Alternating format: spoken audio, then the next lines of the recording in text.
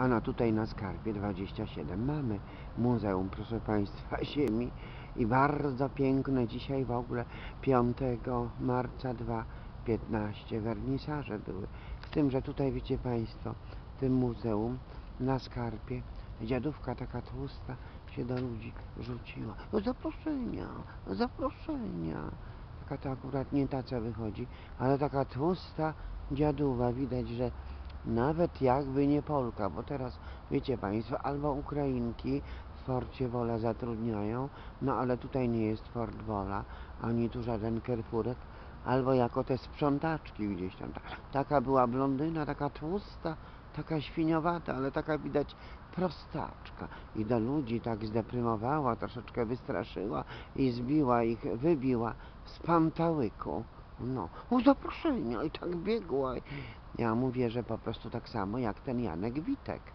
Wtedy, kiedy jemu trzeba te 25 tysięcy zapłacić za mieszkanie, no to tak, zgłaszają się ludzie telefonicznie. Moja siostra się zgłosiła z Anglo-Ameryki, Białystok, dzwoniąc tutaj do Warszawy, do katolickiej Polski, a i mówi, no i co tam?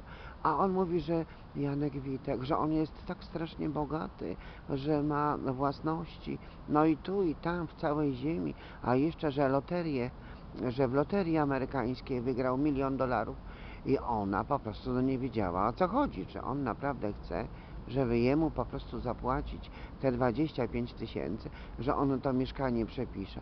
Ale po co on takie głupoty gada ludziom? No to więc to jest taki typowy warszawiak, który ani jednego klienta nie znalazł, no bo sobie sam szkodzi. No i będzie zglądu pełna po ulicach, jak tych bezdomnych jest pełno w Warszawie najwięcej, ale że oni są sobie sami winni, Państwo zobaczą. Tak samo jak ta dziadówka katolicka e, tutaj w Muzeum Ziemi na Skarpie 27, Skarpy 27, na Skarpie 27. Mało ludzi dzisiaj rzeczywiście było na wernisażu, prawie wcale, ale czyja to wina? No taka dziadówka. Jest pracowniczka, która może wszystko zepsuć. No, Bogu dzięki, że to żadna kierowniczka, Bogu dzięki, że to żadna dyrektorka, ale dyrektorowi zepsuła. No bo tak, ludzie nie będą chcieli wystawy pokazać ze środka. Myśmy tu kilka razy byli, dzisiaj też, ale nie pokażemy wystawy od wewnątrz.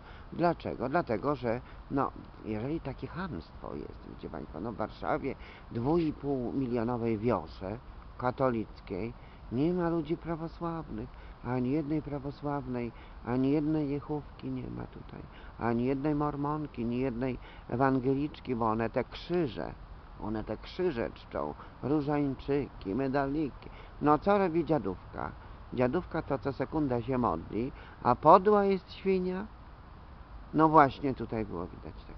Także proszę Państwa, mamy też w Muzeum Karykatury Lipińskiego na Koziej 11. Same gwiazdy przyszły. Tłum wielki. Rozdanie nagród bardzo kulturalnie. Dobry poczęstunek, przepyszne wino. A tutaj ja pamiętam, że też mm, te wernisaże takie zdziadziały tutaj. Muzeum zdziadziało. Jak żył pan Waszków, tłumacz słowackiego, albo jeszcze ten nasz sędzia Kalosz, oni wszyscy gdzieś, nawet pan Leszek, ginekolog, to tutaj te wernisaże były też i w ogródku. Było pyszne wino, ładne lampki, a to w kubeczkach takie dziadostwo. No to to to to to to to to, to, i, i ciasteczko jakieś takie.